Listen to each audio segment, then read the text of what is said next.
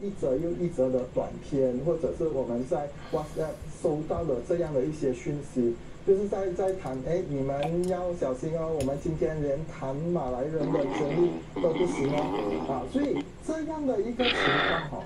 其实某种程度上，它不是很直接的这一个种族主义，可以导向有这样的情绪啊。所以我觉得讲今天呃新闻或者是国政这个环节上，我到面对这样的言，在言论自由之间，呃，跟这个族群关系的和平之间哈，他要怎样达到一个平衡点？其实。很难，因为如果你在想，今天我们在华人社会中，你说华人一定要团结起来